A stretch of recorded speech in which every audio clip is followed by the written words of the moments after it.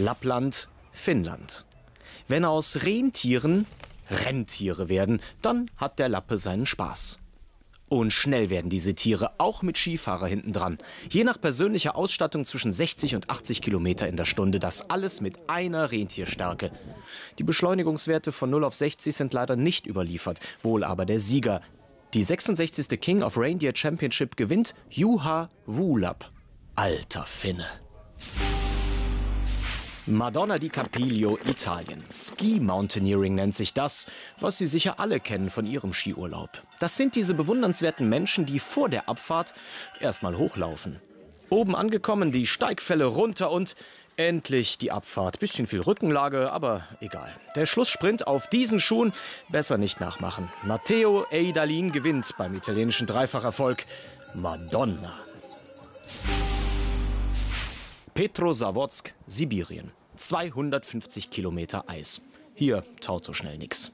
Deshalb haben sie ein Schwimmbad reingesägt in den riesigen See zum Eisschwimmen. Weltcup-Finale. Christoph Wandratsch hat schon alles durchschwommen, was Menschen möglich ist.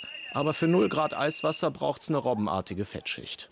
Und Wandratsch stellt jeden Gegner kalt, ob über 25 oder 200 Meter und gewinnt die Gesamtwertung.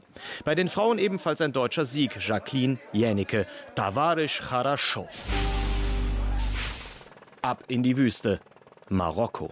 Dakar-Sieger Nasser Alatia will's auch in der Bersuga-Rallye wissen mit seinem Co-Piloten Mathieu Baumel im Side-by-Side-Buggy. Die fünfte und letzte Etappe. Wieder finden die beiden die schnellste Linie in diesem Sandkasten.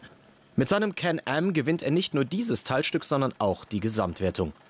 Absolut hot. Wir bleiben in Marokko. Der Marathon des Sables.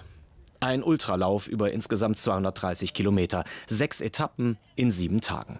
Zwischen 20 und 80 Kilometer sind die Teilstücke lang.